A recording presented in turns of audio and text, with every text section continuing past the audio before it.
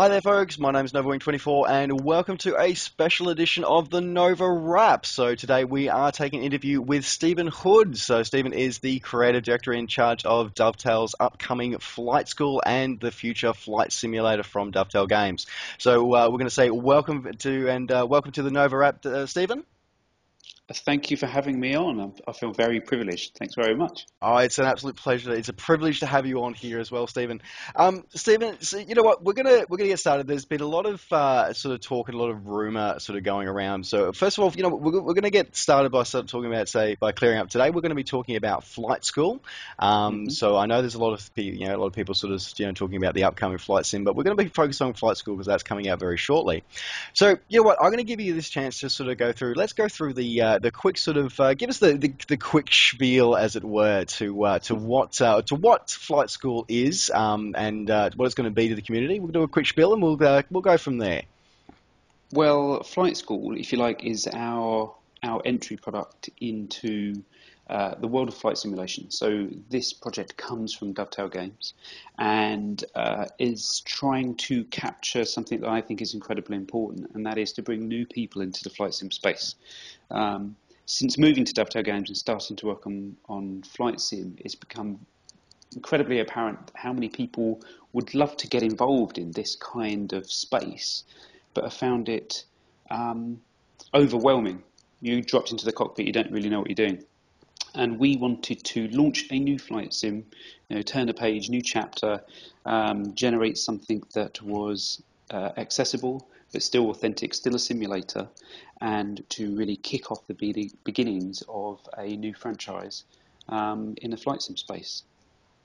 Cool. And, yeah, and it's I find it very interesting that you mentioned there that um, you, you, find that when, when people sort of uh, recently have been coming to, to flight simulation, they were sort of just you know dropped in the cockpit and sort of just expected to go on their way. And mm. and I know from speaking to, to quite a few users out there and, and people that uh, that I'm close to in my you know personal professional circles that you know they, when I talk about flight simulator, they, they sort of go, oh you know yeah I, oh flight simulation yeah I tried that and I sort of pushed a pushed a, key, a couple of keys on a keyboard and it didn't seem to do anything. And I'm, I'm kind of like, oh, you know, like like mm. oh, you know what? That seems so hard, and it's like you know, for for yeah, those of us who been doing it for a while, it seems so easy. But we we forget yeah. a lot of people out there yeah. want to get into it, but sort of struggle with that. And, and I, yeah, I, I, that seems yeah. where you're going with it.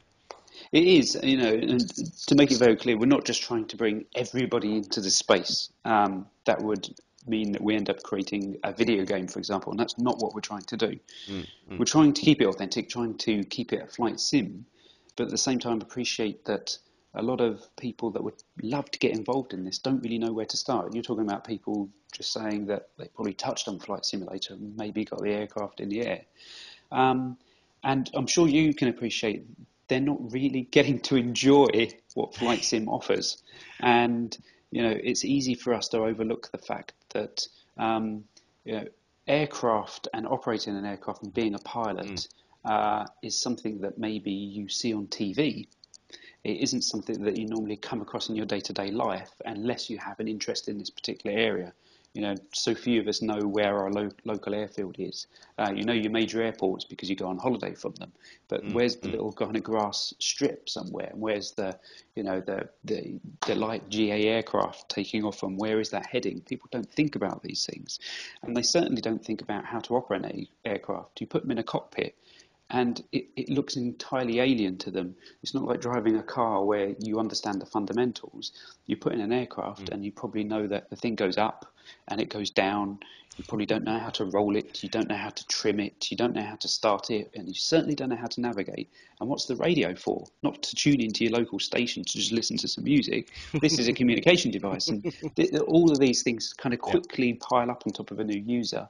And what we're trying to do with Flight School is break this up so that we can feed them this information at the very beginning in the first license type and make them feel as though okay i'm starting to get this now. It's it's starting to click in my mind. I want to know more. And they progress from the first license type and then continue in flight school go and get their ppl and in the full flights in the future progress let's say go through commercial go through atpl so we've got to be appreciative of the fact that we're going to take people on the journey with flight school, and it's it's a it's the very beginning. But I think it's the right thing to do. And, and I just want to pick up because uh, you you made a fairly interesting point sort of there. You mentioned that um, starting with, with one license type and, and, and going onwards from there, and um, that's something that you know. You associate with, you know, with a, you know, whether it be a driving school, whether you're getting a driver's mm-hmm. license, uh, in this case, a flight school, where you're getting a, a, a, you know, a flight license or a pilot's license, that we refer to. Yeah. I, I, want to talk a little bit now about the the licenses that we talked about. Now, you, you just mentioned that there's there's two licenses um, that yeah. we're going to see in flight school. Is that correct? Yes, so um, you're most certainly going to see uh, the European LAPL, as I call it, the Light Aircraft Pilot License, mm-hmm. which, let's say, for example, in the US, that, that, that um, I'm sure a lot of people will be um, uh, tuning in from, will be uh, the LAPL is the introductory license type. So it's the equivalent of a recreational or sport license in the US that, mm. that almost flies under the radar for a lot of people outside of aviation. Mm. Everybody thinks you start with, for example, the PPL. That's the, the stereotypical starting point. But the light aircraft pilot license in Europe is designed for. Um, it gives you a limited license type. It limits the kind of endorsements, the qualifications you can have on your license. But mm. we're using that as your introductory piece. So you can start there, and you'd start that in the UK, but there's a more advanced license type, the one that most people or more people will be aware of, which is your private pilot license in the US. And um, we've done that to use the LAPL as the entry point. Should you want to, you know, admit that you're starting with no knowledge whatsoever, and you just want to go through the basics of uh, appreciating how you take off, how you land, how you navigate from A to B, how you, you know, properly mm. turn the aircraft. Um, the things that I'm sure you and other kind of expert flight simmers out there will just gloss over immediately. It's, I know what I'm doing, just let, let me at it. Um, but these new people coming in have to mm. start somewhere. We all did, and and I want them to try and uh, engage with flight simulator in a realistic manner. You've turned up at a flight school and you admit that you know nothing. You're a student. Give me my first license type. Whereas the PPL uh, if you mm. transfer to the PPL, it doesn't ask you from the very beginning to try and take off and land. It doesn't ask you to show those skills. There's an assumption there to begin with. So what we're trying to do is capture elements of the typical syllabus in the LAPL and mm. the PPL, and the expert flight simmer will probably, you know, engage with flight school and go straight to um, the American uh, uh, school and try and gain their PPL. You have to do the introductory lesson to welcome you to the school mm. uh, almost becoming a, a, member or a club member. Mm. And then you could, if you meet the solo flight time requirements, just go and do your check ride.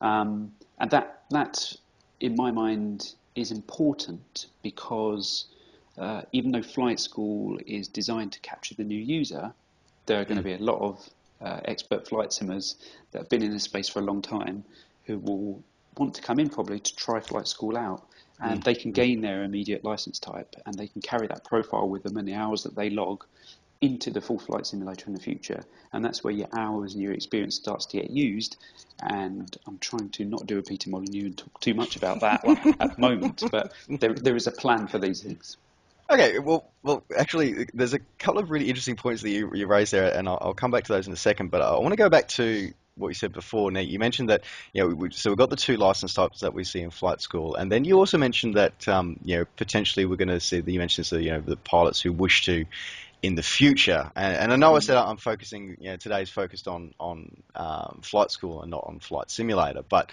um, you also then sort of alluded to, you know, um, your ATP uh, qualifications, mm. you know, the things beyond PPLs. Uh, so is that something? And, and then just, just then you also mentioned that we're going to be looking at you can transfer the hours across into Flight Simulator once it comes mm. out. So um, it sounds like you, you've got a bit of a, a, a journey and and um, uh, and uh, sort of you know to expand flight school uh, into and into the future as well. Is that, is that what I'm sort of getting here? Yeah, you, I mean, you're absolutely right, and, and, and for me, it's no secret. You know, I'm not I'm not trying to turn it into a game, but there is a logical kind of progression um, for a pilot, if you wanted to get into a particular line of work, let's say you wanted to become an airline pilot, then mm. You know if you're lucky enough, you might you might start at a school, an intermediate school that immediately kind of trains you on multi-engine aircraft or whatever. You've got to have a lot of money these days to kind of get onto that. but there's plenty of people out there that start with their I'll try and get my, my pilot's license, you know, mm. a private pilot's license, and then try and get a commercial license and you know get some jobs. Maybe I can do X, Y, Z and earn some money, and then try and study for my um, airline transport pilot license. Um, and these things happen over time. And all we're trying to do with the um, Dovetail Games Flight Simulator franchise is to replicate those typical paths that you would have as a pilot in today's world. Mm. So, and, and, it's a logical progression for me. So instead of us out the gate trying to say, you know, we've got 50 different aircraft types and we're just going to skim over all of them and you do one lesson and suddenly you're a qualified airline pilot and off you go, that that seems a misstep in my mind. I want to try and concentrate on the experience, and we deliver it when it's ready to go. So we don't just, for example, chuck airliners in flight school. That, that's mm. not what it's about.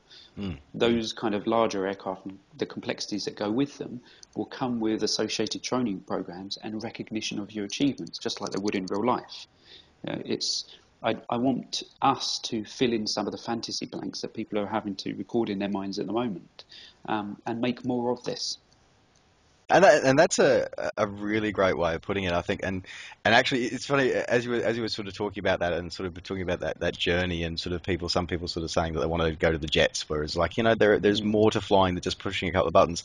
I, am reminded of a of uh, uh, the manual for the A2A uh, J3 Cub. Uh, there's a beautiful story in there um, relayed um, from Scott uh, of A2A of a of a airline pilot getting into a Cub and realizing mm. that he'd forgotten how to fly. Yep. Yep. And I, I really love that story.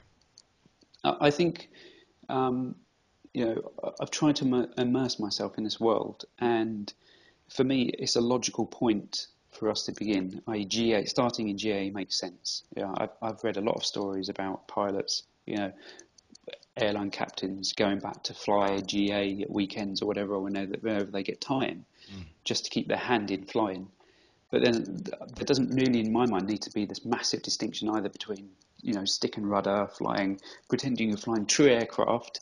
Um, that's fine, that's valid, and we're mm. going to make the most of that. But then there is also the more complex side of aviation, and I think it's utterly compelling as well to set your business jet up or set your airliner up and then fly from A to B and do everything you know on the money and, and do it precisely as long as there was some kind of recognition in there.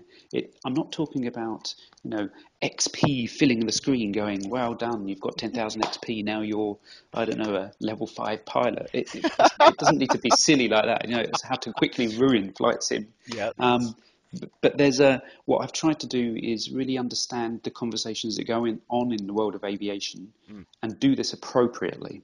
Now you're always going to be able to, even in flight school, just go and enjoy um, free flight and do whatever you want. I'm not trying to stomp over the product. Mm. I'm just trying to make it more believable and add a subtle element of recognition in there that we could um, use and better appreciate in the future when we deliver, let's say, uh, uh, additional missions or uh, community events or um, you, maybe there's a pack in the future and you could fly for a particular airline and mm. and gain recognition with Emirates or British Airways or whoever we might be able to sign deals with in the future and just do something that is probably quite cool but mm. do it when the time is right and when we can when we can really deliver an experience to go with it because as I was saying earlier at the moment I just think there's a lot missing in flight sim and everybody wants everything day one, as do I. I'm a creative guy. I'm a creative director on a project, and I'm I'm always making demands as to what I'd like to see. But I also appreciate that I want to deliver something where people go, "This is cool. I can see what they're trying to do. It's enjoyable. I want more of it," rather than well, they, they've given us all of this stuff, but it's not very good. It's all watered down. What's the point in that? Nobody will come back. Yeah, exactly, and and and I think that that's very much a, a huge element of um, of all simulators, of all sim, or simulator uh, simulation players um, and people involved in the community, is that you know we, we want to find more, we want to, to to get more out of it, we want to have new experiences, and mm. to be able to find uh, a company that is, that is and a developer and a creative like yourself who's actually doing that and actually sort of going, okay, well, let's let's actually make something more than just you know yes we could just throw everything out there and it'll all just be a little bit wishy-washy but you know actually be able to take some time and go into it in a bit more depth. That's uh, that, that's really exciting time for us. It really is. So uh, so that's great to hear. Um, so you mentioned before as well that um, so you, you know you can start with your LAPL, um, um, yep. or for any Australian viewers, your recreational pilot's license. Um, mm-hmm. The uh, you start with start with that, and then you can then you can have the option of moving on, or you can jump straight in, into a, a PPL. And you mentioned that so the PPL is going to be a US school. Is that right? It's a US school. Yes, okay. it's, it's a US school, so it's a US training program, and the mm-hmm. terminology that goes with that is US based.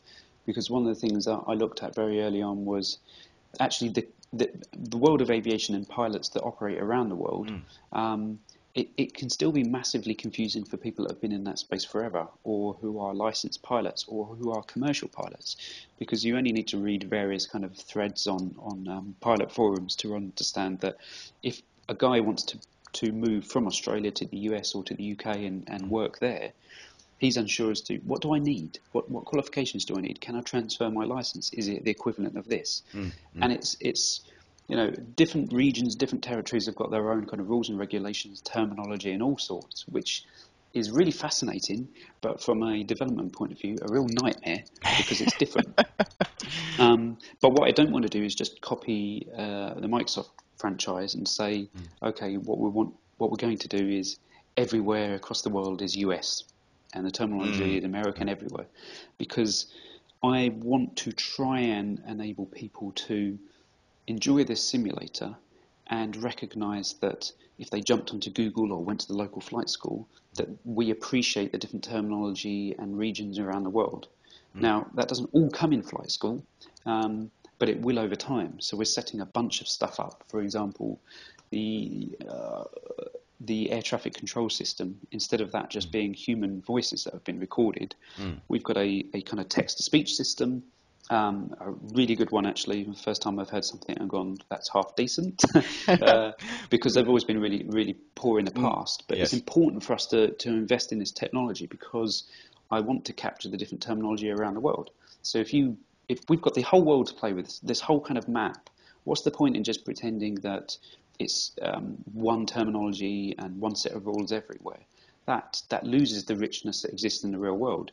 So if you were doing a, a flight, for example, in a light aircraft, and you were travelling from A to B, or you know taking it from the US over to Europe or over to Wick in Scotland, mm. um, that there are differences as you travel across the world that, that don't really exist in FSX and other simulators and that seems you know it's, it's a subtle thing but all of these things added together i think will create a richer deeper experience of being a pilot in today's world traveling around this huge world map which is one of the pluses of us beginning with fsx to, to harness that mm. for me is really really important uh, it, it's interesting that, that you mentioned that sort of long journey because I know that um, from personal experience, my my uh, my father was a, a pilot for um, for for almost almost 40 years, and uh, and he spent uh, many many of his uh, early years. Um, he actually spent as a ferry pilot, and it's actually a quite a, a common way that um, pilots were sort of when they first, you know, if they want to get build up their multi-engine command and stuff like that, they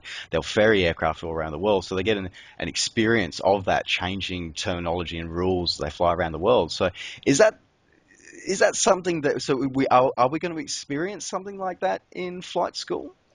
Uh, well, I can't give loads of stuff away, but the fact that um, you know you mentioned ferry pilots, it's something that that kind of world or, or the things that you could do as a pilot that have interested mm. me. So you know, there's all sorts of things that go on in the real world. You being a ferry pilot, air taxi, crop spraying, all sorts of bits and pieces. Mm. But what I want to try and do is, is focus on particular experiences that you know, a lot of people probably don't appreciate outside the aviation circles. Mm. And if we have this whole world, if we've got a cool weather system, if we've got differences in terminology, um, and there's just an exciting place to explore, doing stuff like you know in light aircraft, the challenge of, of doing a, a ferry pilot mission, if you will, or being a ferry pilot in the real world is really demanding and mm. challenging, but I also think incredibly exciting.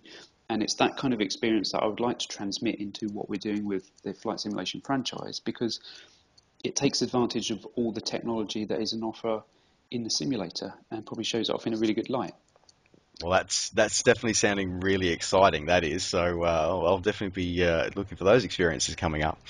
Um, well, okay. So I want to get um, I want to move it into a little bit more about um, the team and so, the, the, yourself and your team and some maybe some of the, the challenges and some of the successes that you've had. Um, a lot's been bandied about um, since the first announcement back um, first announcement back in 2014 that, that Dovetail was sort of you know getting the license from Microsoft to be able to develop um, to, to, use the technology, and then mm. that proceeded into a, a, very sort of ugly argument about flight and FSX, and you know we'll, we'll you know we'll put that one to one side. Um, uh, uh, there's been a lot of confusion and a lot of discussion um, and a lot of heated debate about no, what you're joking. Yeah. oh God! I've seen it. I've seen oh, it. Yeah, the, yeah, uh, yeah.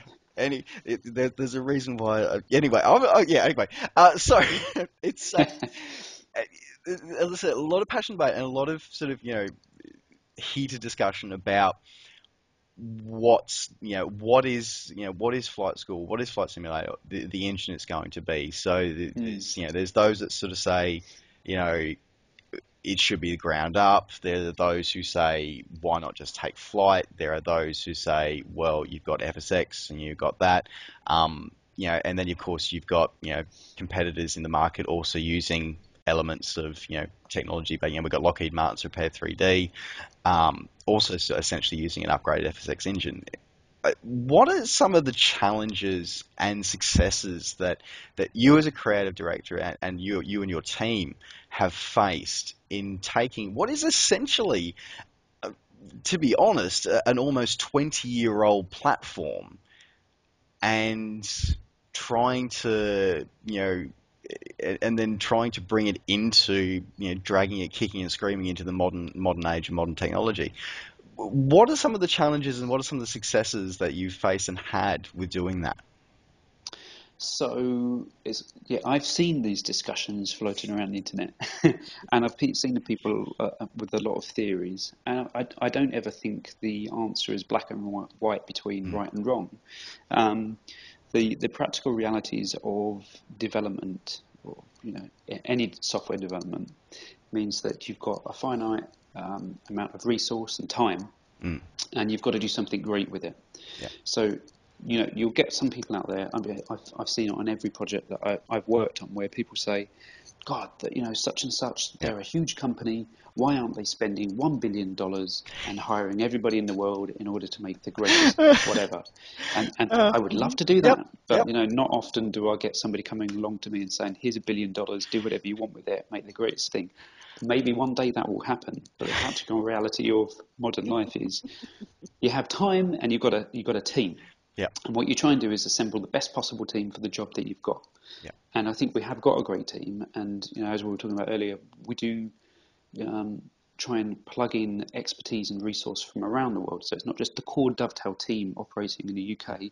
There are people all over the world uh, in in different disciplines, like data guys that are supplying a bunch of data, you know, aviation data, terrain data, to improve the world, to make the simulator accurate. You know, there's a huge investment in that. And there's a huge investment in expertise, wrapping people in that were part of the original ACES development team who, you know, to be perfectly honest, have got a, a point to prove again because they're disappointed with how the franchise will have gone mm. and they just want to make a really great flight simulator. They live and breathe this stuff. Yep. So, you know, teaming up with those kind of guys, it gives us the best of both worlds. We've got the experience. Yes, they're working remotely, but that's great as well because I want this to be an international flight simulator. Mm. It's not just about you know Dovetail Games in England just trying to make a flight simulator and and turning the world into you know European rules and regulations.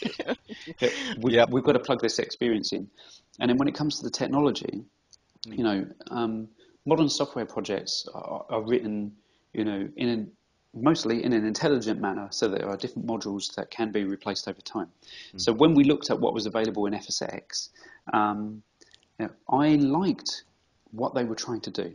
They had the whole world map. You know, they've got the radio comms and that proper navigation and AI traffic, uh, and they had these systems that were, in my mind, important if we were going to convey what it meant to be a pilot. It doesn't matter if you're a pilot 20 years ago or a pilot now, a lot of those systems are valid.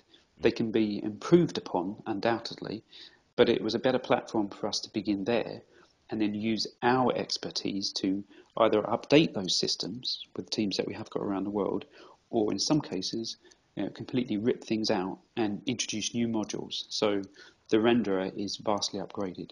The inherent technology in the system, we've moved it from being 32 bit to 64 bit. It will now be DX11. It can use um, uh, PBR and HDR systems in order mm. to convey a much more realistic sense of what it's like to fly an aircraft, you know, in relation to the sunlight, the way it, it reflects on the aircraft, on the exterior and the interior, the light that you'll see on the runways. All of these things are incredibly, incredibly important. You know, light scattering, for example, as soon as you get that in, suddenly you're flying towards the horizon, and then there's just a hue of the different colours from the, the sun and the sky that just reflect across the terrain, and that, that's really important. And I think we showed that off some, some recent screenshots that we grabbed at that point in time, and everybody said it looks like Dovetail Flight Sim is going to be um, you know, blue hue everywhere. yeah, and that's fine until we release more screenshots. Everybody's going to think that maybe, but we'll I, I, see. Think, more uh, stuff think, is coming out. I think there was a chorus of uh, of a lot of people thinking about that uh, Blue Da Ba Dee song back from the nineties. I think when those screenshots came out, I think it, yeah. everyone was concerned it was. I, I, I, but, but it's the same on everything because you know the community is really interested in what we're doing for obvious reason Mm. We're taking something and, and trying to turn a new page, and they're going to have a laser focus on everything that we do. Yes. And I, I, am very comfortable with that because I think um, as we release Flight School, that will give people, which is imminent, you know, it's going to be end of next month. Mm. Um, people will get an impression of what we're trying to do with flight simulation. And what I do hope is that they will appreciate that it, it is in safe hands and that we do care about it. You know, you're right now you're talking to a developer. I'm on the project. Mm. I'm, I'm not trying to give you the PR spin. I know that the best way um, for us to be successful is to create something that we will all enjoy. And I feel very privileged to be in this position to create a project that I have always wanted to be involved in, mm. Um, mm. and it's up to us to deliver and and that's uh, and that's great to hear the, the fact that you are happy to be to be open about that. And and it, it's sort of as it, I'm glad to hear that you know it's not just about you know repackaging a, a 15 20 year old engine it is about you know looking at modularizing it and looking at you know what's good what can be improved on. So that that's great to hear. And and it's of course um, uh, great for the future. And, and, and, as you as you said, it, one of the things that I've noticed pop up in, in a couple of your other comments and, and commentaries around um, your work is that it's about uh, turning a new page in flight simulation and, and about you know starting a journey again. And and I I, mm. I, I, I, I, for one am, really excited about uh, the future of this because it, does look like um, you know you're, you're, you're definitely working towards something new.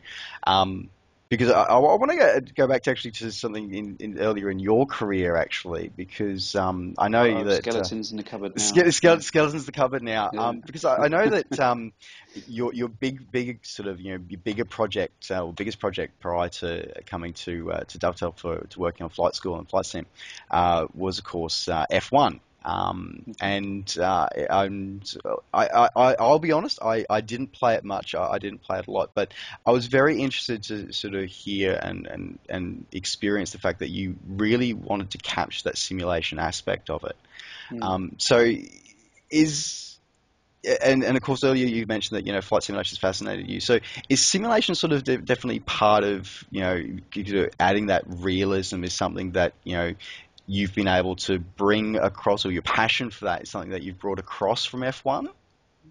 Okay, my background is, um, you know, tr- I've always tried to create authentic representations of uh, an experience. So obviously, Formula One is a very big project that I've been involved in a couple of times. Luckily mm. enough to be involved in a couple of times at Sony. Uh, many, many years ago, and then more recently in the last few years at Codemasters. Um, and I, it's not me that really tries to bring simulation to the fore because you know, it's it's not just one individual. It's got to it's got to be something that um, is a passion amongst the team. You know, I'm just one guy in a huge operation. I happen to try and steer that operation in terms of uh, outlining the kind of content and the experience that we're trying to chase. And you know, I'm there to solve problems or I'm sure I create a few as well with some of my demands. But um, you know, there was a huge, really talented team, a really good bunch of core programmers and artists. Um, there's a great producer on the team as well, and a whole network of people around them to try and support this this project. But I've always tried to uh, gain an appreciation of the subject matter. So if it was in Formula One, for example, um, you know, there's a there's this typical rule book for the sport, if you like, is no different to like a football game or whatever. Mm. Um, mm. And you can replicate those things in, in black and white. But if you don't understand the reasoning behind things or the emotive response that you get from being a driver who is, you know, sitting in the garage before going out to do his final qualifying run, or knowing that um, his teammate that operates alongside him has got the edge on him, is making him look bad because nine times out of ten is the same machinery. That's what I cared about. It was like trying to understand the what goes through the driver's mind and trying to replicate that.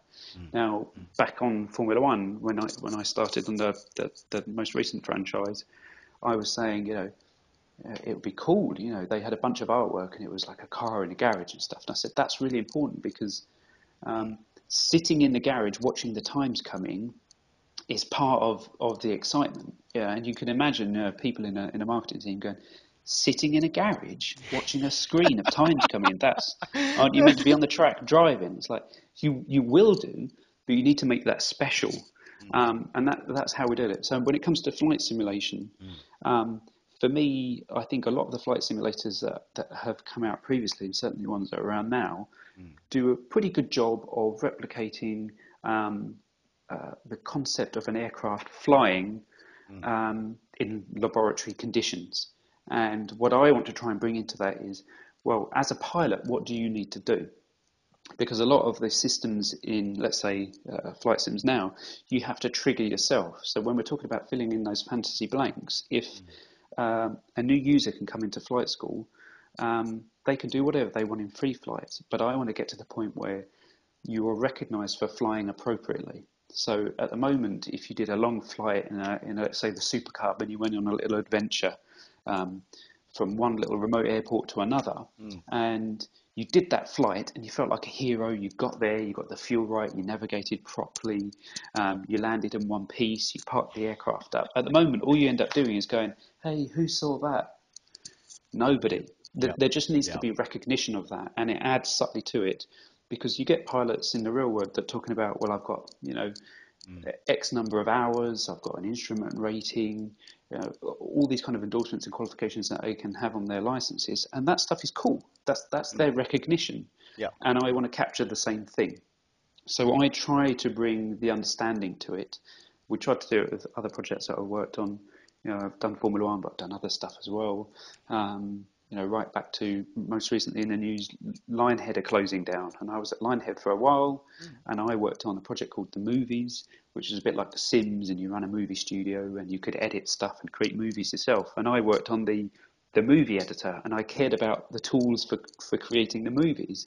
Um, and those were really interesting times, very different companies, and I tried to take those experiences into always trying to improve. Mm. And let's be honest, I think it's time that somebody uh, or team came into flight simulation and tried to move things forward um, at a faster rate than they are currently able to, you know, appreciate. And yeah. with P3D and you know all sorts of projects that are out there, doing a good job, but yeah. There's more, isn't there? There's more to come. Yeah, and and I think it's it's a lot about that immersion, and I, I hmm. think for, for that, that, sort of seems to be where, where that's going with that is the the whole immersion of the experience of the fact that um, you know, yes, you can fly, you know, anything, and, and let's face it, with with, with FSX uh, Steam Edition, there are literally thousands of aircraft that you yeah. can plug into it, and you know, you can fly any of them, you can do all sorts of stuff with them. Um, but where's the immersion and mm. and that immersion is something that's very quite rare I find um, in in what you say, and and, and I hadn't really thought of it before, thought of uh, like in that way before. But you mentioned that that sort of laboratory style flying, and and, and you're kind of right. It, it very much is like that um, for a lot of the um, the the product out there at the moment. And but you, you sort of have that disconnection away from you know what's the immersion and you know who saw you know so who saw that and where where's the yeah, immersion in the in the scenario because there's there's more to flying than just you know taking an airplane from point A to point B and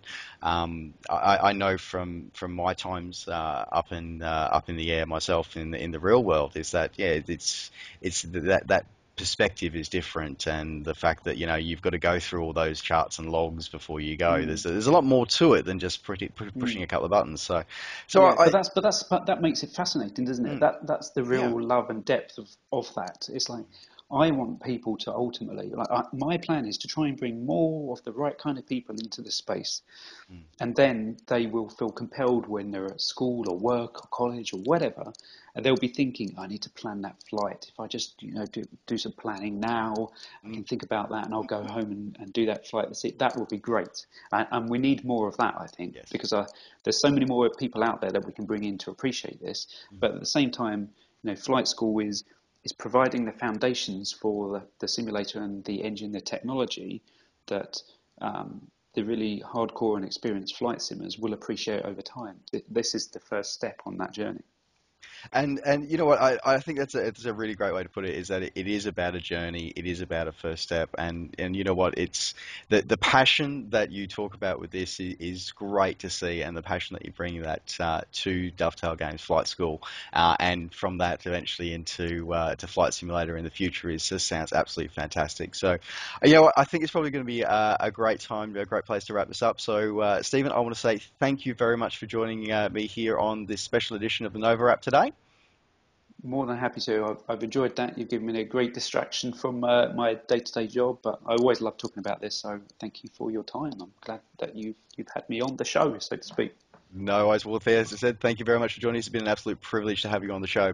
All right, folks, so that wraps up this special edition of the NovaWrap today. Thank you very much for joining us. Don't forget, as always, to like the video and subscribe to the channel if you're enjoying these uh, and want to see more. And, of course, uh, for more information about Dovetail Games Flight School, uh, I will be putting some links in there to the Facebook page and to the official website. So don't forget, that is coming out very, very soon. So we uh, hope to see it on our digital, uh, digital shelf stores in a few weeks' time. All right, thanks very much once again, Stephen. Take care, safe skies to all, and we'll see you next time. Bye for now.